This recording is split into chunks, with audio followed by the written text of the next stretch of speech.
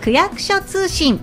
今回は戸塚区役所地域振興課の小畑さんと資源循環局戸塚事務所の阿部さんから食品ロストそしてゴミの水切りについてのお話をしていただきます。よろしくお願いします。お願いします。お願いします。さて横浜市ではゴミの減量などに取り組んでいる横浜スリムプラン掲げていますけれども現状はいかがでしょうか？皆さんこんにちは。資源循環局戸塚事務所の阿部です。本日はよろしくお願いします。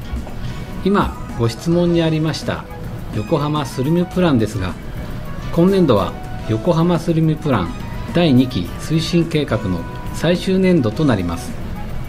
市民の皆様事業者の皆様が主体的にスリム行動を実践できるような取り組みをこれまで以上に進めていきたいと思います。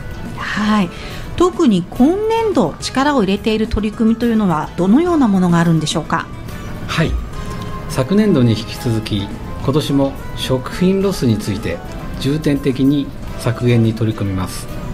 その食品ロスっていうのは具体的にはどういったものですか？食品ロスとは一般的に食事の際の食べ残し手をつけられずに捨てられてしまう手つかず食品熱く剥きすぎた野菜の皮などの過剰除去の3種類に分けられます。横浜市の家庭から出される燃やすゴミの中には年間8万7000トンもの食品ロスが含まれておりこれは市民1人当たり年間約23キロ。お金に換算すると約1万7000円もの食品が捨てられている計算になります。年間1万7000円ですか。これはすごい金額ですね。本来食べられるはずの食品がそんなにたくさん捨てられてるわけなんですね。食品ロスを減らしていくために私たちにできることってどんなことがあるんでしょうか。戸塚区役所の小畑さんお願いします。はい。皆様こんにちは。戸塚区役所地域振興課の小畑です。よろしくお願いいたします。早速ですがここで皆様にも日頃からご家庭で実践していただける食品ロスを減らす工夫をご紹介させていただきます。まず一番に皆さんに実践していただきたいのは手つかず食品の削減です。手つかず食品を減らすために大事なのはとにかく食材を買いすぎないことそして使い切る食べきることです。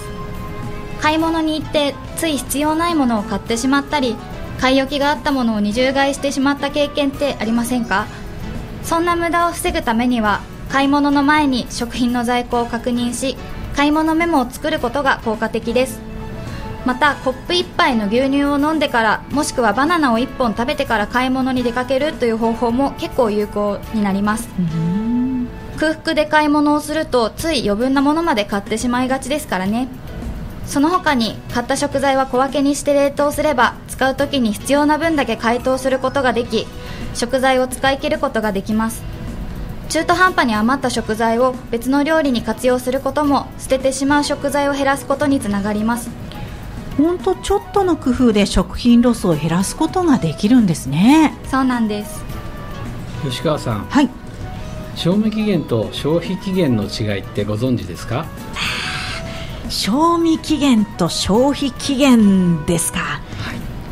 え賞味期限とは食品を美味しく食べられる期限を表していてその期限を過ぎたからといって直ちに食べられなくなるわけではないんです。比較的保存が効く食べ物に表示されています。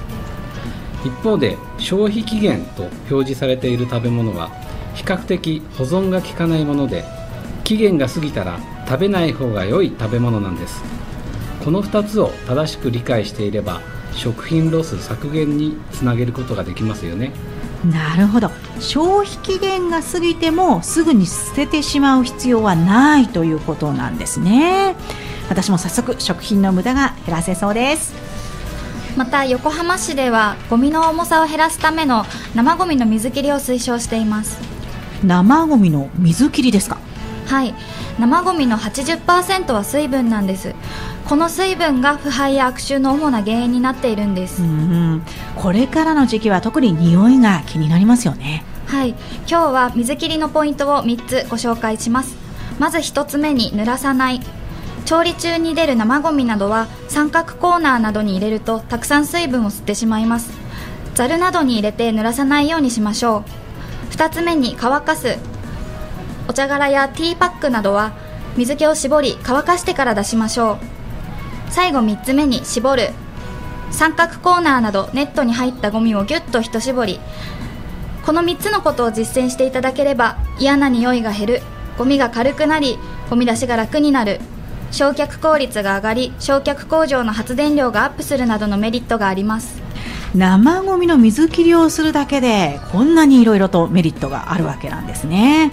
私もぜひやってみようと思います。皆さんも環境とお財布に優しい食品ロスの削減そして生ゴミの水切りにぜひ取り組んでいただきたいと思います。本日はありがとうございました。これからも横浜スリムプラン実現に向けて頑張ってまいります。皆様もご協力よろしくお願いします。本日はありがとうございました。ありがとうございました。今日は戸塚区役所地域振興課の小畑さんそして資源循環局戸塚事務所の阿部さんにお話伺いました。